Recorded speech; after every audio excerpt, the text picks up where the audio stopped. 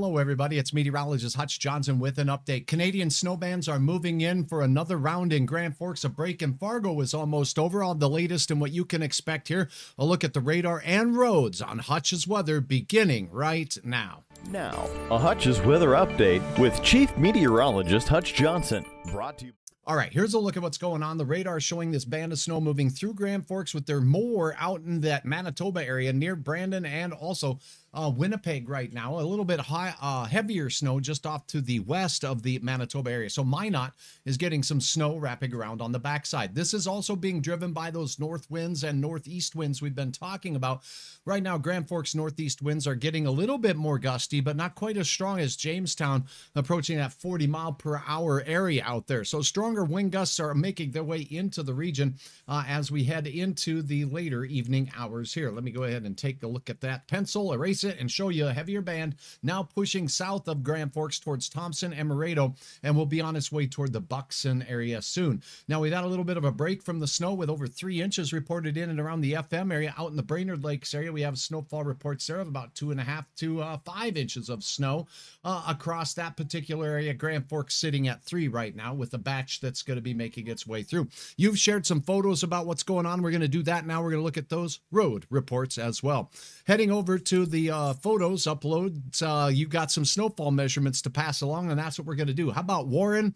We've got what looks like uh, nine inches, two inches for the uh, uh, received yesterday, seven and a half inches today. Warroad, Minnesota. What? That's amazing. Thank you so very much for uh, sharing that uh, photo up there. I'll be passing that along to the National Weather Service as well. Uh, Falconer Township, Grand Forks County. Marion, thank you for your measurement. Looks like between six and seven inches uh, reported there. Pretty fluffy looking snow at that time. That's going to blow around when these winds pick up just a little bit.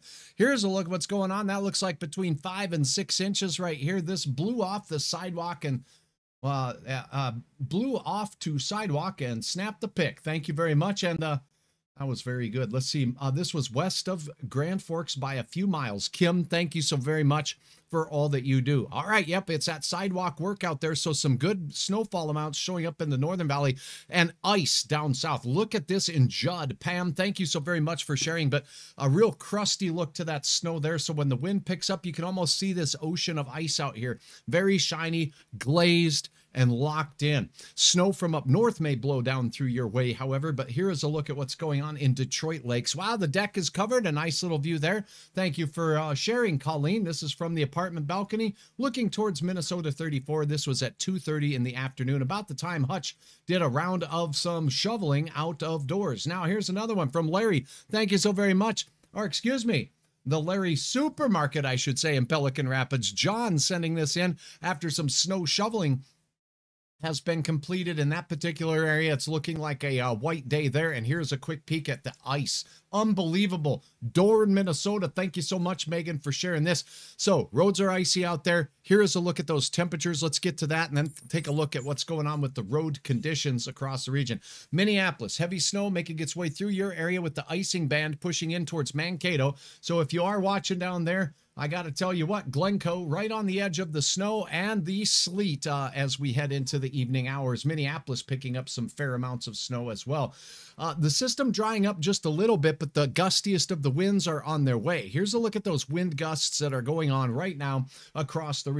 And you're going to see a lot of wind gust reports across South Dakota. The strongest winds exited Montana are now in South Dakota. We will not see the strongest winds. The wind warning has been canceled for our area as most of those winds set up out to the west and to the south of this particular storm system due to its orientation. So that's what we have going on across the region. The wind gusts, let's see if those uh, get pulled up here, we can see what they are.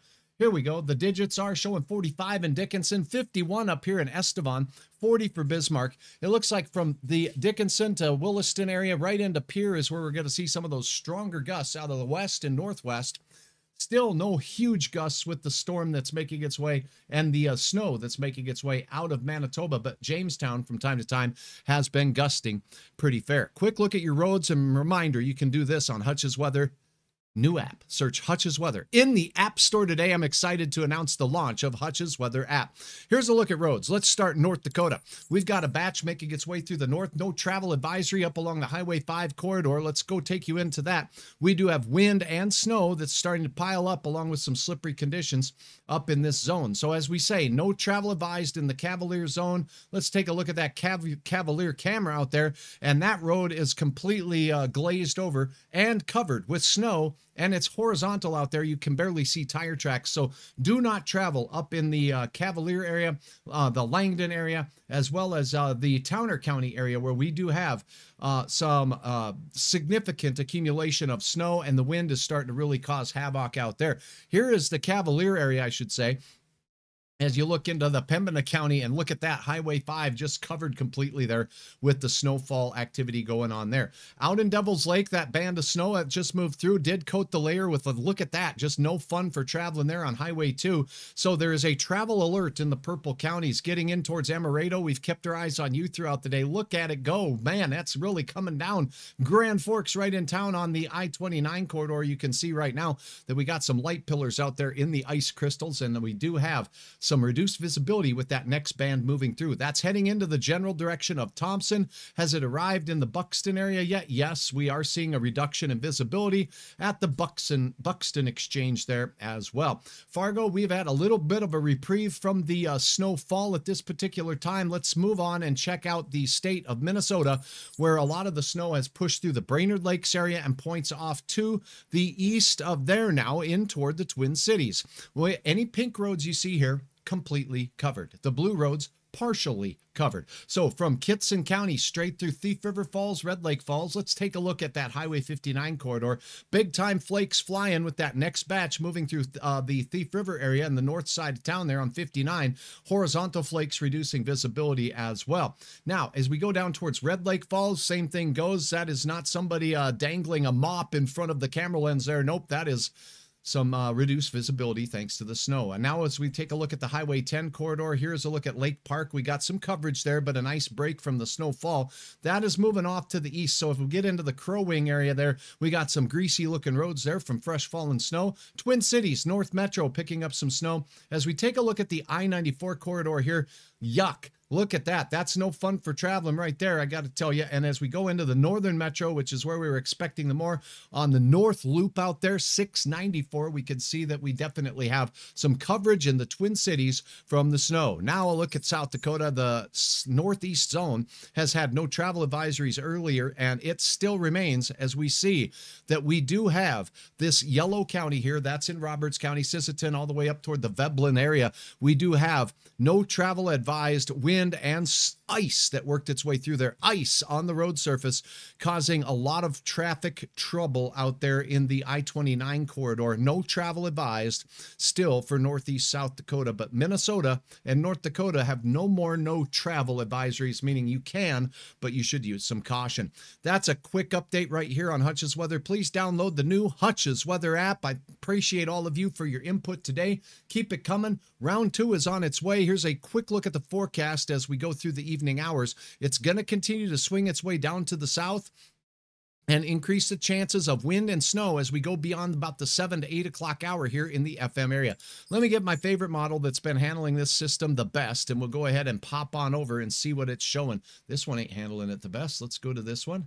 And here we go. Okay, so as we put this into motion, you see that the main band has left. And now, as we head towards six o'clock, there's another band that will be moving through Minot, Rugby, Rolla, out towards the Bottineau area, Rock Lake. That's what's going through right now. And as we go through towards 10 o'clock, this system will be moving through Fargo, Valley City, also the uh, Highway 200 corridor, and on into southeast parts of North Dakota as we head toward the 10 o'clock to midnight hour. The winds will be the gustiest with this next batch moving through. Gusts over 30 miles per hour will be likely, up to 40 miles per hour. And then the wind and the snow will continue its way on down toward the cities for the final slap of snow. A quick look at your planning forecast. The cold is on the way, falling temperatures throughout your day tomorrow. Expect 9 degrees for your afternoon drive home, slippery in the morning.